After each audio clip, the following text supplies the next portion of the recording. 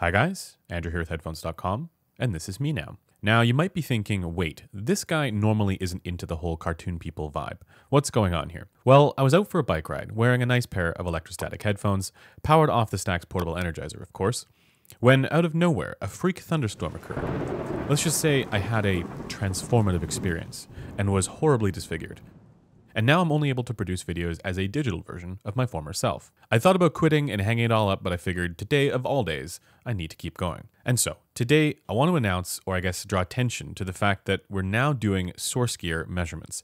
For the longest time, we were primarily focused on headphone measurements, and this is of course because we felt frequency response was the most important thing.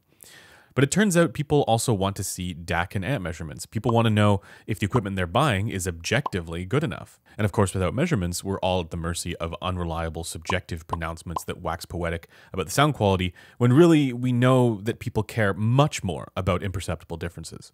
But you see, the thing is, while traditional methods of measuring source equipment have really only been able to provide you with extra bragging rights that your source equipment has minus 120 dB harmonic distortion compared to your friend's measly minus 100 dB, our our new method of measuring source equipment allows us to determine all kinds of additional things. For example, we're now able to measure soundstage, depth, dynamics, resolution, and so on. And if you want to see our initial measurements, those are already up on headphones.com. But I wanted to briefly also go over our measurement process so you can see how we're able to measure these qualities objectively.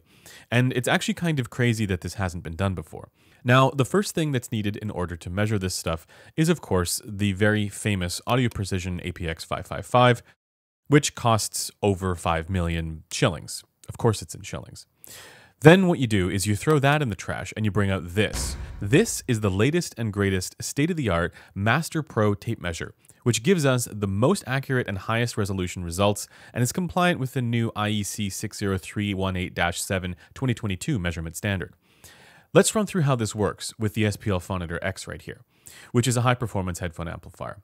Let's say we want to measure soundstage. So the first thing we want to do for that is get a sense of soundstage width. We basically measure the lateral distance of the unit like this, from one side to the other. Then we want to measure soundstage depth, and this is how much extra depth the amplifier gives your headphones. And by doing this, and of course, who can forget about soundstage height? You want to know when sounds are coming from above you, which is especially important for safety reasons.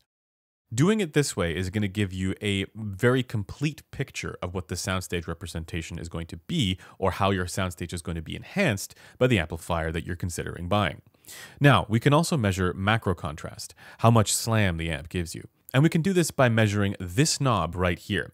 Now, one mistake people often make when trying to measure this is they go for just the diameter and the surface area of the knob on this side here. But really, you also have to measure the depth of the knob.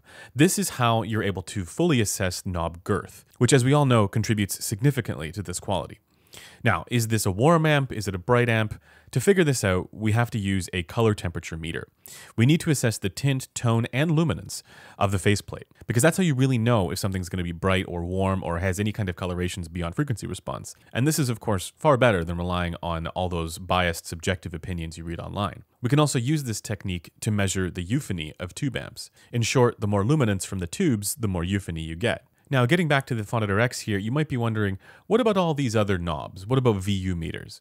Well, as it turns out, while it may seem like these are important things to measure, in reality, they don't actually mean what you think they mean, and ultimately, they don't contribute to the subjective experience whatsoever when it comes to headphones. You see, these just give an indication of time domain information, which, as we all know, is proportional to frequency response. So you've got your impulse response, and you've got your square wave, and you've got your cumulative spectral decay, the waterfall plots, and as I've mentioned many times, these are just other worse ways of looking at frequency response. So we don't bother with those. Now, after doing all of these additional measurements, we're able to give a more complete, objective picture of how the amplifier performs.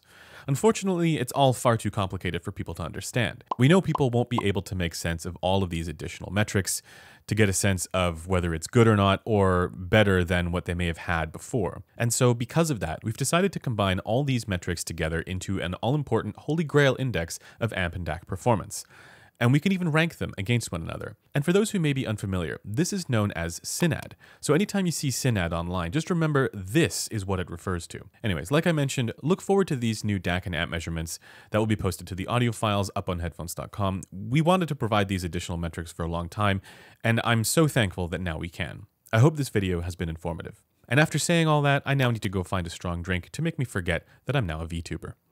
See you in the next video.